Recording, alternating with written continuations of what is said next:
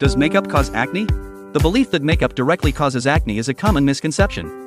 While some makeup products may contain ingredients that can potentially clog pores or irritate the skin, not all makeup leads to breakouts.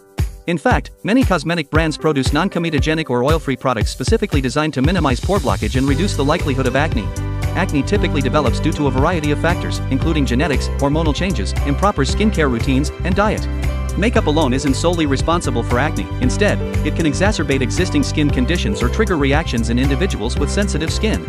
Choosing makeup products labeled as non-comedogenic or suitable for your skin type can significantly reduce the risk of acne.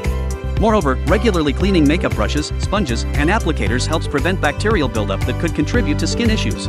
Ultimately, while makeup can sometimes be a contributing factor, it's rarely the sole cause of acne, and proper skincare practices are essential in maintaining healthy skin.